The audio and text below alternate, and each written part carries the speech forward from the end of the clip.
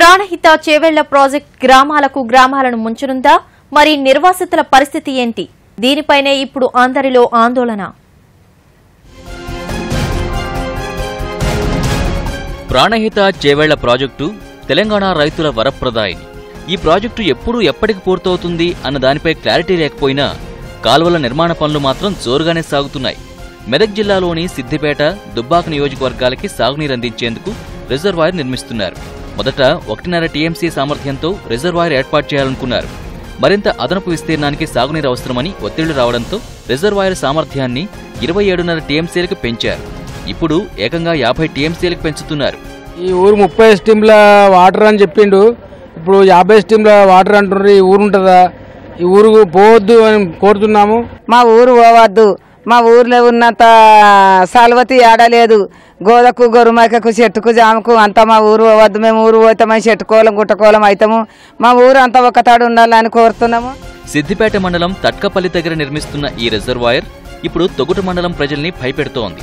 సిద్దిపేట పరిధిలోని తట్కపల్లిలో రిజర్వాయర్ నిర్మిస్తున్నారు. కానీ దుబ్బాక నియోజకవర్గంలో నాలుగు గ్రామాలు పూర్తిగా ముంపుకు గురవుతున్నాయి.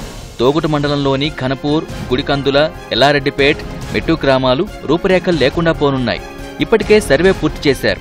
ఇప్పుడు మళ్ళీ యాభై టీఎంసీల సామర్థ్యం మేరకు పెంచేందుకు ప్రయత్నిస్తున్నారు. అంటే మరికొన్ని గ్రామాలు ముంపు గురికానున్నాయి దీంతో ఆయా గ్రామాల ప్రజల్లో ఆందోళన పెరుగుతోంది.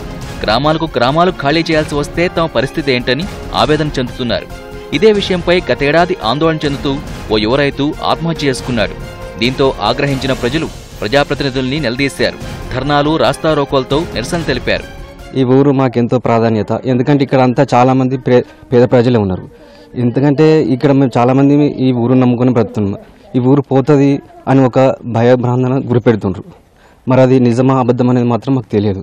ఇంతకుముందు ప్రాణహిత చేయగల ప్రాజెక్టు ట్వంటీ సెవెన్ టీఎంసీలు ఉన్న ప్రాజెక్ట్ని యాభై టీఎంసీలుగా ఎక్స్ ఎక్స్టెన్షన్ చేసి ప్రభుత్వం నిర్ణయం తీసుకున్నాడు. సంతోషకరమైన విషయమైన ఒక విధంగా బాధపడాల్సినటువంటి అంశం కూడా ఇది.